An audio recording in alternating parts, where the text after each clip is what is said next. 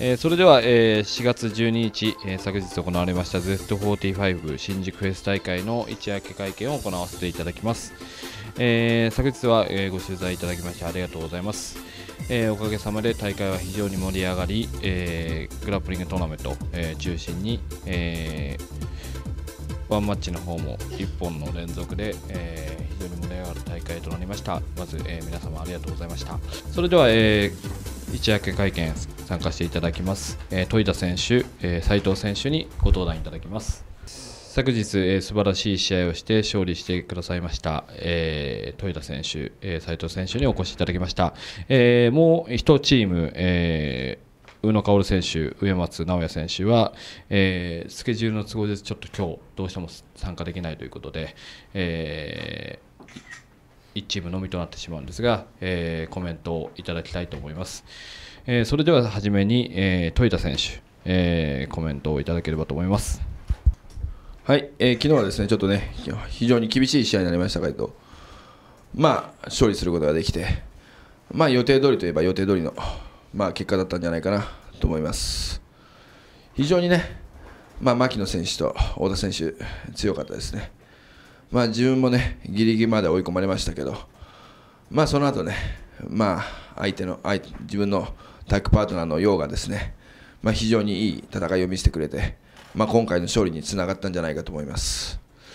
まあ次はね、まあ予想通り、まあ自分の大先輩である、まあ宇野さんとやることができてね、でそれで勝ってベルトを巻いて本当の意味があると思うんで、まあ次が本番だと思って、えーあと1ヶ月ちょっとありますけど、練習してもっと素晴らしいパフォーマンスが見せるようにします。えーと、まあ、昨日そうね。えー、うん？喋る？まあまあまあまあまあ。まあね。喋る喋る？喋る？ちょっとじゃあ、はいはいはい。じゃあ、じゃあね、あの首を洗って待ってろと言ってますんで、はい。ご質問ございますはい、ご質問ありましたら全部あの代わりに答えますから言ってください。まあ予想通りね、やっぱり防御力が高いですよね。特にね、なんか決められる怖さはなかったんですけど、まあ特に牧野選手、まあ、背中をベタっとつけた、まあ、独特のスタイルですよね。まあどちらかというと、まあ、決めるタイプよりは決められないで、まあ、カウンターを取るという感じですかね。なので、まあ、自分2回対戦してますけど、まあ、本当に非常にやりづらい相手ではあるなと思って。ただね、あのスタイルだとね、勝てないですよね。なので、もうちょっとなんかね、勝てるようなスタイルに今後変えていかないと、まあ、今回出てるじゃないですか、タッグトーナメント。多分どの選手とやっても多分厳しいと思います。まあ、太田選手もね、まあ、あの自分のね、まあ、あの見に来てくれてたあの人たちがですね言ってたんですけど、まあ、地味だと言ってましたんで、まあ、もうちょっと何か派手なことやってくれたらいいんじゃないかと。まあ、ただ、実力的なものはね、本当に肌合わせ見て、あまあ、強いと思っただけに、まあ、もったいないって感じたのが正直なところです。えーあのギロチンで仕留められなくて大変残念だと言っています。まあね、本当に、まあ、お客さんが喜んだような素晴らしい、まあ、なんだろう、セオリー通りのね、教科書みたいな試合でしたよね。特にね、本当に、まあ、上松選手の、まあ、足払いとかね、投げ技とか、やっぱあの辺が一番湧いたんじゃないかなと思って、うん、やっぱりすごいですね。うん、自分ももうね、2回やって2回負けてるんですけど、まあ、やっぱりあの辺のね、安定ぶり、まあ、2人の圧倒的な安定ですね。もう危ないところは一切なかったじゃないですか。まあ、最後、飛び十字ね、非常に危なかったですけど、まあ、あれね、本当に簡単にアキレス腱で返すあたりね、本当にやっぱすごいなと、この2人は持ってるなと思いました。そうですね、まあ、ただ、まあ、対策というかですね、まあ、防御力的には多分あの牧野太田組の方が高いんじゃないかなと思って、まあ、その分あのそうですね。あの上松選手と、まあ、宇野さん。この2人の方が攻めてくる分まあ多少ね隙があるんじゃないかと。だから逆にバチバチのねまあ攻め合いをね見せないんじゃないかなと思いますよ。まあまあ振り向かないと思いますよ。うん、ちょっとツイッターでつぶやきかけようかなってぐらいですかね、本当に。多分反応してくれないと思うんで、まあ、ただ、ね、1ヶ月後ですか、5月24日には、もうなんか言わざるを得ない状況になると思いますんで。まあ実際ね、まあ、リング上で肌を合わせてまあそれでねまあ会話してやればいいんじゃないかなと、うん、それでね俺が上回れば多分饒舌になると思いますから。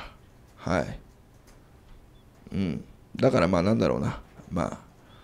申し訳ないけどまあ宇野カル待ってろよと。言いたいと思います。あまあなんだろうな。向こうがまあ太陽だとすると俺は好きみたいな存在ですかね。まあずっとね本当に研修会東京本部でねトップでまあ日の当たるところでずっと走ってるじゃないですか。その中でまあもう自分はね本当に1回現役を辞めた身でまあどちらかというとまあ道場系ということでですね格闘技をまあ裏から支える立場にあったんですよね。そのですね太陽と月がまたちょっと合間見えるんじゃないかと。まあそれがね、まあ、ひょっとしたらそこでうるまあ自分がまあ太陽になれるんじゃないかなっていう。まあ思いもしなかったですね。自分のもう格闘技人生でまさか宇野さんとやれる日が来るっていうのはねまたこのねまあ不思議なね人生をねまあ俺のがじゃあ持ってるんだぜっていうのを見せてやろうかなと思ってます。そうですね。ちょっとねなんかね今回はね出し切れてないんじゃないかと思って。まあ一発持ってるだけにねちょっとなんかこう特にグラップリングになると固執する部分があるんでまあもうちょっと広くなんだろうなやったらいいんじゃないかなって思いますよ。まあこいつのね力ってねこんなもんじゃないんで。だからそれが出たら本当に次の2人どちらも決める可能性があるんでね。まあ俺は俺より、まあ、こいつの方が決めが強いんじゃないかと。強いというのを確信してますんで。まあそれを見せてくれと思います。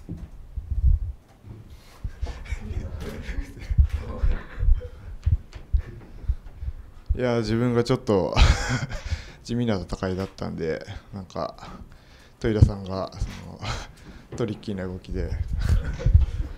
問いかつもっと頑張れって言ってます。